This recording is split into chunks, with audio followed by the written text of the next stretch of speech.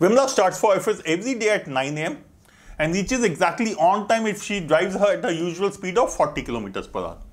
She is late by 6 minutes if she drives at 35 kilometers per hour ratios. Speed has become 35 by 40 or 7 by 8 times. That means the time taken should become 8 by 7. Straight away, the jugaad of ratios should come to you. One day she covers two-thirds of her distance to office in one-third of her usual time to reach the office and then stops for 8 minutes. The speed in kilometers per hour which she should drive the remaining distance to reach office exactly on time. Let's first find out how much is the time she takes. Okay, the speed has become, as far as speed has become, speed has become 35 by 40 times.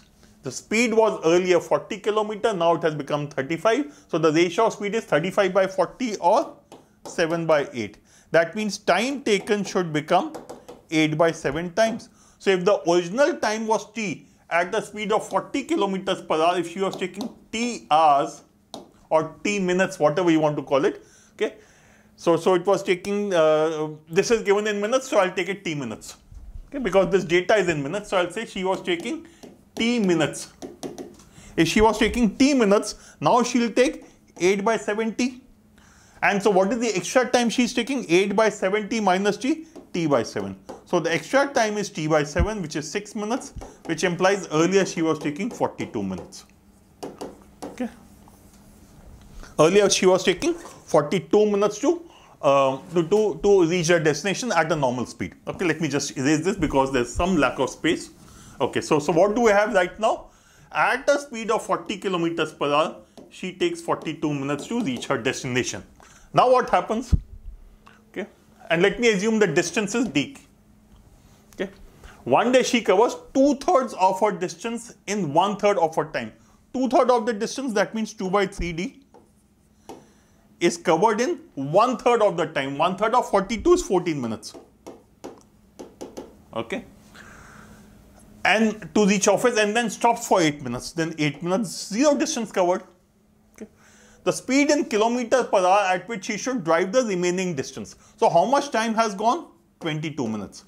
In 22 minutes, she has covered two-thirds of the distance. So the remaining one-third of the distance she has to do it in. Earlier, she was taking 42 minutes at the normal speed. She still needs to take 42 minutes. She's already spent 22 minutes, so she has to do the remaining distance in, in 20 minutes, sorry.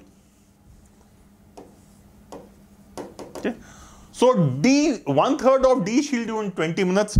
So D she will do in 60 minutes. What does that mean? The speed has to be D kilometers per hour. D kilometers in 60 minutes, the speed has to be D kilometers per hour. So what do we need to find?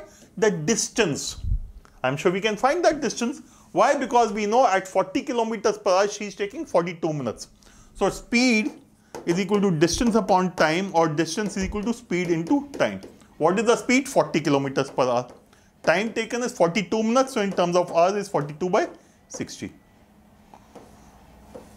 20 into 2, 20 into 3, 14. 14 to the 28. So distance is equal to 28 kilometers. So speed has to be 28 kilometers per hour. Okay. Now again I am repeating, please use ratios.